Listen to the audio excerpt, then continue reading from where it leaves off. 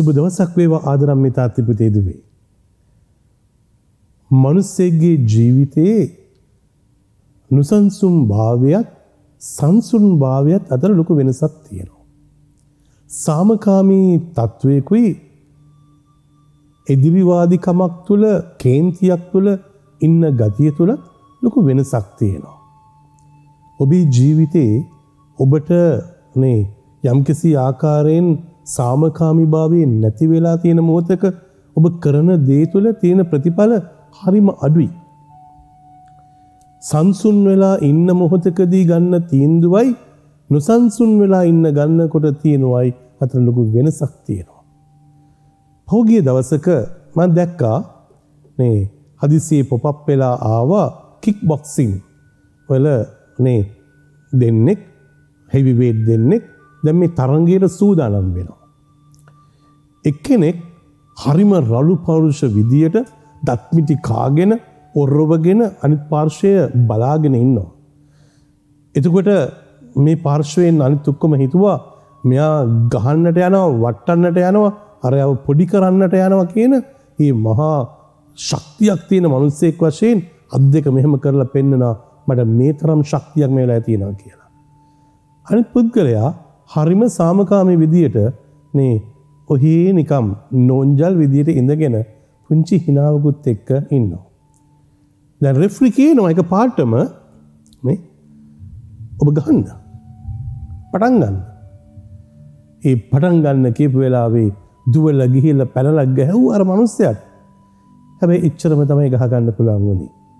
ඊට පස්සේ අනිත් එදිරිවාදියා ඊටමත් සාමකාමී විදියට මොකද කරේ නේ අර මනුස්්‍යයට විනාඩි තප්පර දොල්හක් ඇන්නෙසර නොකවුට් වෙන්න එතන පටන් ගත්තා.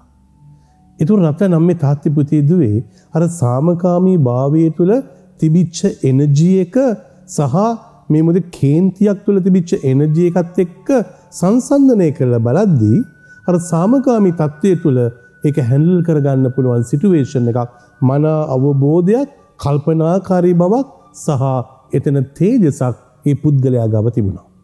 අපේ ජීවිතවලත් සමහර වෙලාවට අපේ කේන්තිය පිට කරන්න තරාව පිට කරන්න උත්සාහ කරනවා දේවල් වලදී. ඒ මොහොත අසාර්ථක මොහොත බවට පත්වෙන්න වැඩි වෙලාවක් යන්නේ.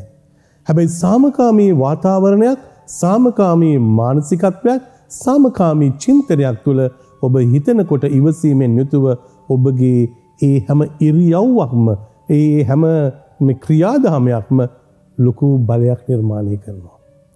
එනිසා තමයි ඔබට බයිනකොට ඔබත් කෑගහගෙන ගියාම ඔබ දුර්වල චරිතයක් වෙනවා. ඔබට බයිනකොට ඔබ නියන්න වෙලා ඉඳලා මේ මොහොතේදී ඒ කියන එක වචනයක් සම්පූර්ණයම අර පුද්ගලයාට දැනෙන්න පටන් ගන්නවා. එනිසා තමයි රත්වන්න මේ තාත්තිපතියදුවේ ඔබේ ජීවිතයේ සංසුන් භාවය හැමවෙලාම රැකගන්න. සාමකාමි බව හැමේලම මනස තුළ රැකගන්න. කෝෂාව එලිය ඕන තරන් තියෙන්න්න පුළුවන්. ශබ්දය ඕන තරන් තියෙන්න්න පුළුවන්. කෑ මොර ගහන තැන් ඕන තරන් තියෙනට පුළුවන්. චෝදනා කරන තැන් ඕන තරන් තියෙන්න්න පුළුවන්. ඔබට නේ පාරක් ගහන්න උත්සාහ කරන අවස්ථාවත් ඕන තරන් තියෙනට පුළුවන්. හැබැයි ඔබ ගාව තියෙන ඒ සංසුන් භාවය නිරම්තරයෙන්ම ඔබව ජයග්‍රහණය කරා අරගෙන යනවා. එනම ප්‍රාර්ථනා කරනවා. සංසුන් මනසකින් සාමකාමී චින්තනයකින් ඔබේ ජීවිතේ විජයග්‍රාහී ගමන යන්න දේව ශක්තිය දේව බලයසා ඒ හික්මීම ඔබේ ජීවිතයට අයිති කරගන්න චෙස්පීටයි.